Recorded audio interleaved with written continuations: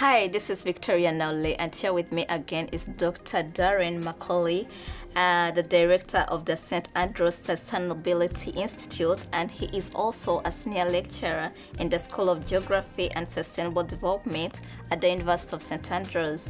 In the previous videos, we discussed about fossil fuels and energy justice, and we also discussed about the connection between alternative fuels, that is renewable energy, and energy justice.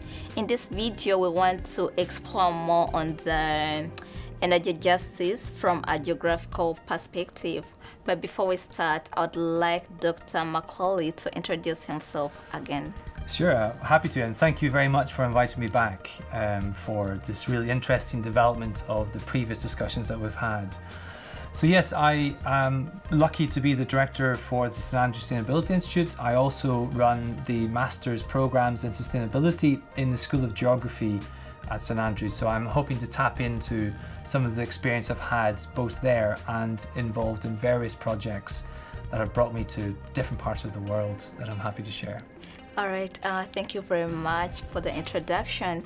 So in this video, we want to look at the geographical perspective of energy justice because mm-hmm. in the previous videos, we realized that developing and developed countries face different energy challenges, but not only that, the resources are also unequally distributed. Mm-hmm. So can you take us through energy justice from a geographical perspective? Happy to. So the, the two key concepts and ideas in geography are space and place. It sounds very grand, but effectively in terms of space, as geographers, what we try to look at is the interconnections of those inequalities you referred to mm-hmm. across local, national, regional, and perhaps international levels. So whenever we're trying to consider where do these inequalities take place, we think of scale. At what scale do those inequalities take place? Mm-hmm. And to what extent are they connected?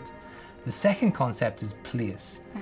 And place really, as a geographer, reminds us that if we want to try to understand inequalities that take place because of fossil fuels or alternative energy systems, we have to be very sensitive to the place specific histories, contexts mm-hmm. in which these various infrastructures are developed uh, that give us our electricity and our heating. So whenever we look uh, across the world, what we find is, of course, this idea of NIMBYism.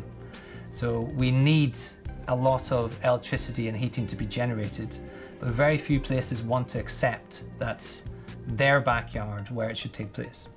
So as a geographer, what we tend to do is we try to connect together these skills by trying to look at, okay, internationally what we require, what we need is of course more electricity, more heating, but locally, where do we find locations where that's possible?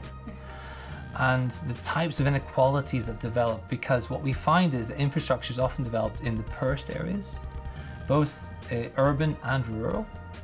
And we also find, geographically speaking, that we've that we're really focusing heavily our infrastructure development in parts of the world where people are less likely to protest and that again often are areas of socioeconomic deprivation.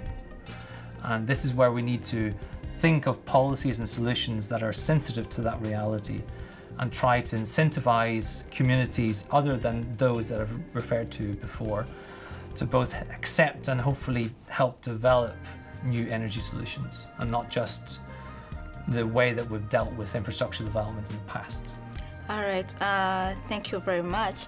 And then uh, uh, the last question is how can we get policymakers mm. to take geographical perspective into into into play, like when they're drafting their energy laws? Because I know you're not a lawyer, but no. at the same time, it's very important for us to, besides having it on paper, we have yes. to put it into laws. How can we convince them to consider the geographical perspective of energy justice? Yes, it's a, the million dollar question, as they say. I mean, um, in terms of legal geography, which mm. is a subfield that mm. exists, what geography tries to say is well, whenever we design our solutions, we should be sensitive to the the cultural dynamics of the locations in which we are suggesting that this infrastructural development should take place. Mm-hmm. So, uh, as for a company, what we would like to see is a greater application of environmental impact assessment, a much more comprehensive approach uh, to perhaps considering the locality in which these uh, various infrastructures that we need are developed and be aware of the cultural importance uh, on which the land is incredibly important uh, whenever we're considering where we're going to actually develop. So I think as geographers we would really reinforce the importance of environmental impact assessments, social license to operate, uh, mechanisms that companies should use. We would try to suggest to lawyers to think about how can we integrate cultural dynamics into those impact assessments so that they're taken more seriously whenever we're considering where we're going to develop our energy infrastructure. All right, uh, thank you very much. That marks the end of our third video. In the next video, we shall talk about energy justice from a global perspective. Stay tuned.